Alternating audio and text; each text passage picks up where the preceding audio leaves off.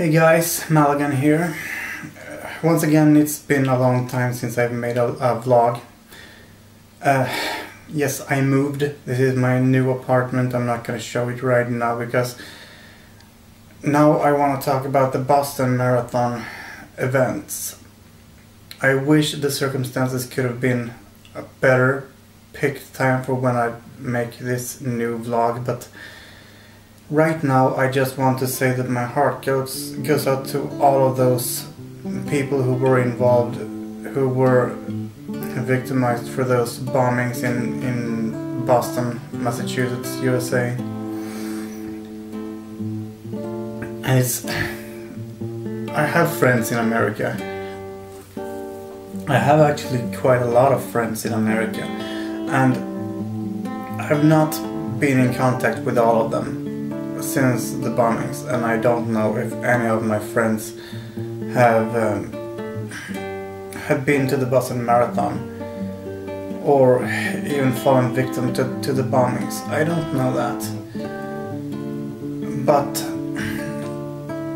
my closest friend I have uh, been talking to, the, my closest friend who lives in America, that is, I have um, not been in contact with him, but I have seen that he was logged on to World of Warcraft just like one hour ago since when when I checked, uh, which suggests that he would not have been there.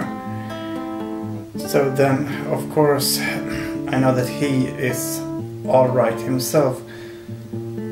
But it's just, it makes me think that stuff that like this can happen to anyone, pretty much anywhere in the world. We had bombings in Stockholm here some years ago. It was a a lone lunatic who blew himself up, suicide bomber. And they were bombing in London and they're doing this crap all over the world. And as soon as something like this happens, everybody goes screaming, terrorists, terrorists, everyone thinks it's Al Qaeda or, or whoever. But there's a lot of crazy people out there. There's a lot of people who could have been responsible for, for those bombings and definitely not defending Al Qaeda here saying it wasn't them. There are actually several things that indicate that it could just as well have been them. But I'm not going to point any fingers, just as, as uh, President Obama said that let's not jump to any conclusions before we have all the facts. Now there is a very funny word, fact. What is a fact? Who knows what is what, what really went on? Who knows who really did it? Who will ever know? And I mean, even if somebody would just come out and straightforward confess to it, that's happened before. People confessing falsely to to crimes, and it just makes me think: Is this ever going to stop? Is this ever going to end? Like, I'm starting to believe it, it won't. And I'm. A lot of times I lose faith in humanity because this is just how we're made. Okay, this is how, how humans work. We kill each other. And it's like, I saw a video on, on YouTube some time ago explaining why aliens haven't arrived and talked to us.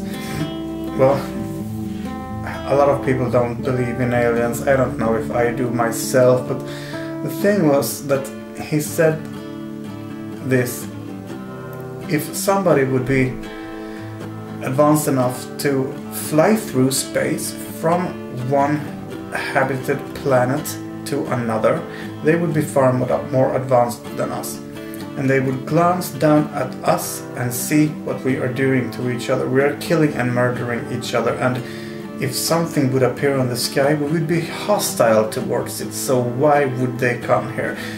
Okay, first of all, I said, not everyone believes in, in uh, UFOs and, and aliens. But there is a very great point here. A very great point.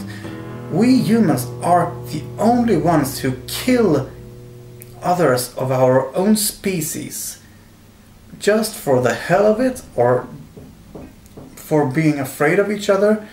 Like, if you take wolves for example, or other territorial animals who, who are very, very territorial and, and and um, protect their territories, they could kill someone who, who comes into the, to their territory if they don't leave.